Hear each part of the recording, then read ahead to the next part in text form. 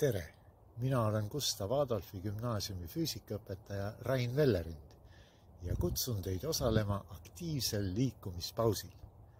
selleks on vaja ainult heita pilk kalendrisse, pigistada selle koha pealt silm kinni ja anna minna.